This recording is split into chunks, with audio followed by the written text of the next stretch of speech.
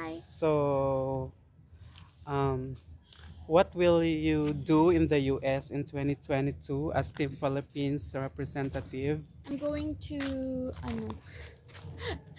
I'm going So, to what will be uh, the competition there? Anong sasalihan mo doon? As in singing and also I'm competing in acoustic solo and modeling. Wow, that's great. So, God bless and please uh, campaign or um, ask some support to our, our YouTube friends here. Hi guys. So, kailangan po ni Amber guys ang syempre uh, for her expenses. So, we need to pay for me. in the bank for her WCOPA journey. So, sige rin. Ha? Hi. Please support me and Tadi lang, ay. my ano. Mm-mm. Hi everyone, it's me Amber. Please support me for my journey to the world stage. Yes. So, kailangan niya guys ang inyong support Ba't yan ah? and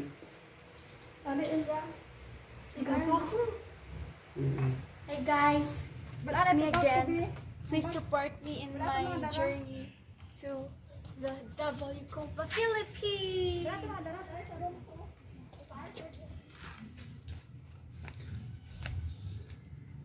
thank you, thank you so much guys for everything.